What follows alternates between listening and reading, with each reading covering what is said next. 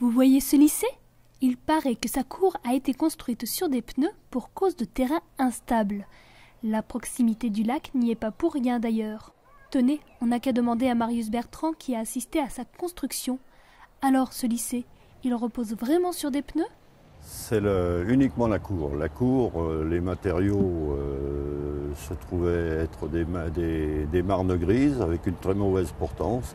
Donc elles ont été évacuées sur 2 euh, mètres de, profondeur et le remblai a été reconstitué avec des pneus. Mais pour mieux comprendre, prenons un peu de hauteur. Jolie vue, n'est-ce pas? Eh bien d'ici, on voit tout de suite que la ville a été construite dans une cluse, un creux perpendiculaire à une chaîne de montagnes. Car auparavant, il y avait un glacier. Cela fait des millénaires, bien sûr, mais en fondant, il a laissé des traces comme ce lac. Coincée entre deux montagnes, la ville s'est alors adaptée au paysage. On a grignoté un peu les flancs, investi les bords du lac et le fond de la vallée, et procédé à quelques aménagements. Car si on lève la tête à l'est, la barre des Fecles de falaise calcaire de 500 mètres de long et 80 mètres de haut s'effrite doucement.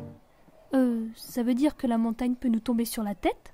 Il n'y a, aucun risque. Les zones qui étaient euh, plus ou moins euh, dangereuses ont toutes été euh, protégées, soit par des, des gabions, soit par des murs en pneus. Il n'y a aucun problème. Et oui, ici les pneus ne sont pas que sous terre et ceux-ci seront bientôt recouverts par la végétation.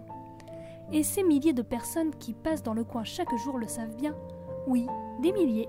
Le territoire de Nantua est un parfait lieu de transit de par sa position géographique. En tout cas, c'est ce que pense Marc Bertrand qui vit ici depuis 1960. On a quand même le lac, on a les montagnes, on n'est pas très loin d'Annecy, euh, on n'est pas très loin de Lyon, pas très loin de Genève, c'est bien centré.